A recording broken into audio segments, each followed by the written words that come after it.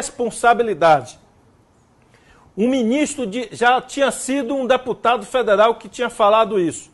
Um ministro de Estado falar de AI-5. O que é AI-5? Um ato de exceção à lei, um ato de violência contra a sociedade, feito na ditadura militar, durante um período ruim da história do Brasil. Eles ameaçam a sociedade com um ato desse, saindo de um ministro de Estado. Qual a repercussão disso no mercado internacional?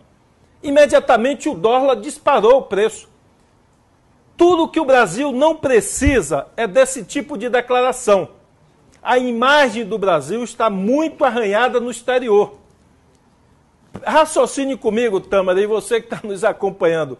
Algum investidor do mundo, vendo uma declaração do ministro da Economia, o ministro mais importante, de que pode radicalizar e vir a ter uma ditadura do Brasil com a edição de um AI-5 você, se fosse empresário internacional, francês, alemão, qualquer um, você ia botar seu dinheiro aqui?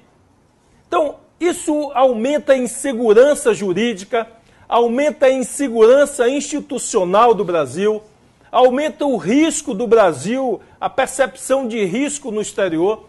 Isso aprofunda a recessão no Brasil. Nós estamos há cinco anos em crise e as pessoas não confiam no Brasil. E isso ficou claro nessa viagem nossa internacional. Há uma desconfiança muito grande das instituições brasileiras, a falta de confiança nas instituições jurídicas, políticas. Então, há muita fragilidade na imagem do Brasil no exterior. É, aí o ministro vai dar uma declaração desastrosa desse, ameaçando é, implantar ditadura.